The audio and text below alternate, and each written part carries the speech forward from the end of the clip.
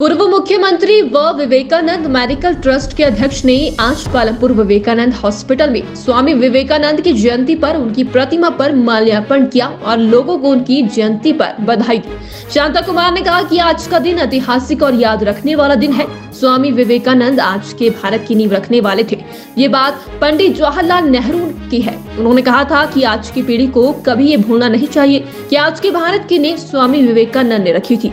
शांता कुमार ने कहा कि आज का दिन बड़ा महत्वपूर्ण दिन है और पालमपुर में ही स्वामी विवेकानंद के नाम से दो संस्थाएँ सफलता के साथ विवेकानंद हॉस्पिटल और कायाकल्प बहुत बढ़िया चल रहा है। और जल्द ही तीसरी संस्था विश्व शांति इसी वर्ष शुरू हो जाएगी, जिसमें सौ लोगों के लिए सीनियर सिटीजन होम की व्यवस्था होगी। ये स्वामी विवेकानंद के आदर्शों पर एक सेवा केंद्र के रूप में कार्य करेगा। शांता कुमार ने कहा कि इस वर्ष ही शहीद कैप्टन सौरभ कालिया के नाम से नर्सिंग कॉलेज भी शुरू हो जाएगा। ऐतिहासिक और याद रखने वाला दिन है। स्वामी विवेकानंद जी की जयंती मैं आप सबको बधाई देता हूँ आज के इस दिन के लिए। और क्योंकि आज के भारत की नींव रखने वाले स्वामी विवेकानंद थे, ये शब्द पंडित जवाहरलाल नेहरू जी के हैं। और शब्द कहने से पहले उन्होंने एक और बात कही है। उन्होंने कहा कि आज की पीढ़ी को कभी ये भूलना नहीं चाहिए। कि आज की भारत की नींव स्वामी विवेकानंद ने रखी।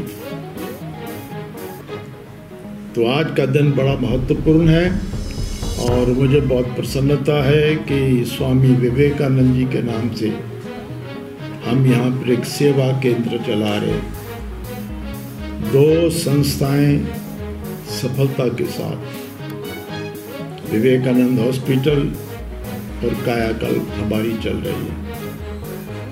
और मुझे प्रसन्नता है कि तीसरी संस्था विश्रांति इसी वर्ष में कुछ महीनों में शुरू हो जाएगी। सीनियर सिटीजन होम सौ लोगों के लिए। तो स्वामी विवेकानंद जी के आदर्शों पर एक सेवा केंद्र के रूप में हम काम कर रहे हैं यहाँ पर, मुझे बड़ी प्रसन्नता है। इस वर्ष में विश्रांति भी शुरू हो जाएगी। और इस वर्ष में यहाँ पर वी में नर्सिंग कॉलेज भी प्रारंभ हो जाएगा। तो वी एम आई में अब सभी स्पेशलिटी प्रारंभ हो गई हैं। एक रही है, वो दो तीन वर्ष के बाद हम शुरू कर देंगे